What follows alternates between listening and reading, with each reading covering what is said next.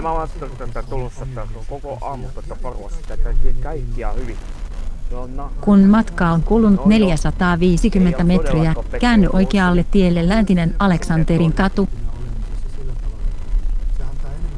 Päästä päättää.